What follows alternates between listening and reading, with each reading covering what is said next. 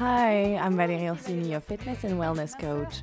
You've probably heard about the last techniques to have dream abs, workout tips in the magazine, even competitions online rewarding the one that will hold abs the longest.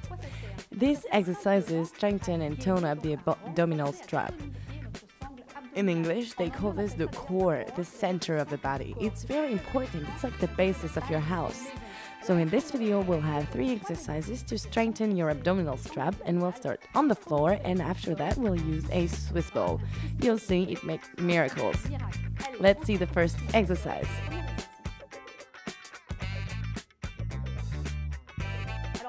Start on the floor, resting on your forearms, tight abs, and your back straight. No round back, no hollow back. This is very important.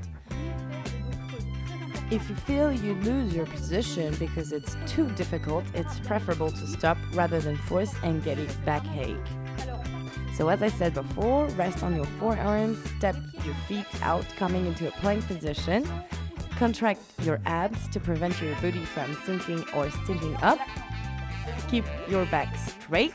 That's what exercise is called plank, all as long as you can. At the beginning, you might hold 10 seconds, 15, and maybe 30. When you feel it starts shaking too much, try again the next day. It's simple and efficient.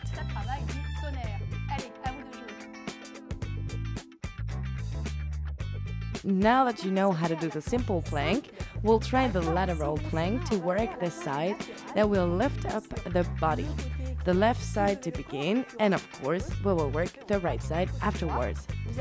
Turn onto your left side with your legs extended and your feet and hips resting on the ground and stacked on top of each other.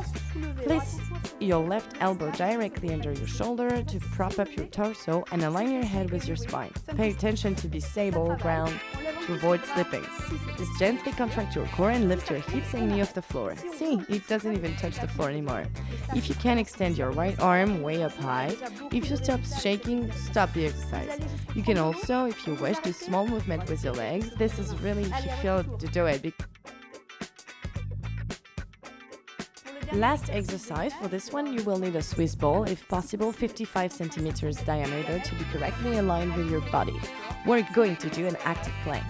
Rest on your forearms on the Swiss ball, extend your leg behind you, flex feet, the legs are straight, the back is straight, tight abs, resting on your elbow and start rolling the, the ball forward and backward. It's not necessary to make large movements with the ball. You'll see with that small movements, you will need to contract very hard your abdominal muscles. It hurts, but it's good. You'll go till the firing, the trembling, and you will add five little more movements. You have won the right to be proud of you. Thanks for watching this video and for more tips and tricks visit our website easyexperttips.com and subscribe to our YouTube channel Easy Expert Tips and watch a new video every day.